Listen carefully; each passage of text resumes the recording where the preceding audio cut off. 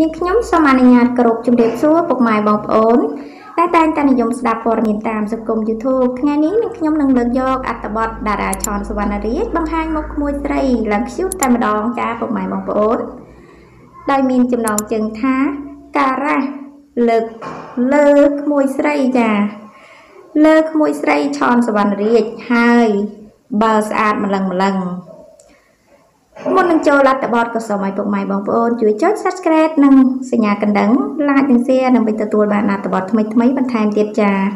តារាចម្រៀងប្រុសដ៏មានប្រជាប្រិយភាពលោកឆនសវណ្ណរាជបច្ចុប្បន្នកាន់តែទទួលបានការគាំទ្រយ៉ាងខ្លាំងពីសំណាក់ fan fan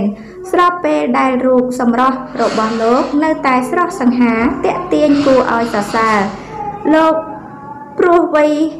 របស់លោកកាន់តែច្រើនទៅហើយ យ៉ាងណាមិញបើក្រឡេកទៅមើលរូបភាពប៉ុន្មានសន្លឹកដែលលោកបានធ្វើការបង្ហោះកាលពីពេលថ្មីថ្មីនេះជាមួយនឹងក្មួយស្រីជាទីស្រឡាញ់បានធ្វើឲ្យហ្វេនជាច្រើននាំគ្នាចាប់អារម្មណ៍ខ្លាំងទៅលើរូបសម្រស់របស់ក្មួយស្រីលោក ដែលមានមុខមាត់យ៉ាងស្រស់ស្អាត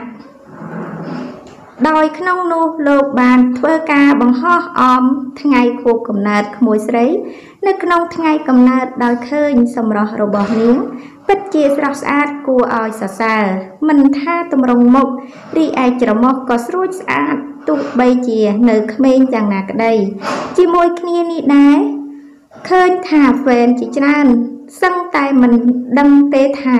តារាប្រុសរូបនេះ មានក្មួយស្រីដែលមានរូបសម្រស់ស្រស់ស្អាតយ៉ាងដូច្នោះស្របពេលដែលលោកមិនសូវជាបង្ហាញច្រើនប៉ុន្មាននោះទេ ចាអត្តបទកំសាន្តឆនសវណ្ណរាជបង្ហោះពីអ្នកក្មួយស្រីក៏បានបញ្ចប់ហើយពុកម៉ែបងប្អូនចា